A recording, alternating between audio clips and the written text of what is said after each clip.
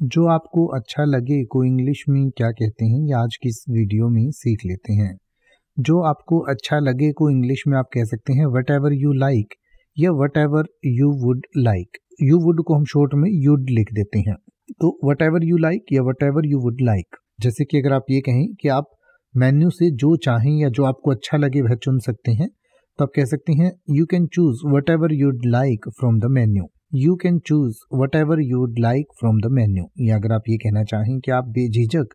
TV पर जो भी देखना चाहते हैं उसे चुने तो आप कह सकते हैं feel free to select whatever you would like to watch on TV या अगर आप ये कहना चाहें कि आप अपने कमरे को सजाने के लिए जो आपको अच्छा लगे उसका उपयोग कर सकते हैं या जो आप चाहें उसका उपयोग कर सकते हैं तो आप कह सकते हैं you can use whatever you would like to decorate your room you can use whatever you would like to decorate your room या अगर आप ये कहना चाहें कि आप पिकनिक पर जो जो चाहें ला सकते हैं तो आप कह सकते हैं you can bring whatever you want to the picnic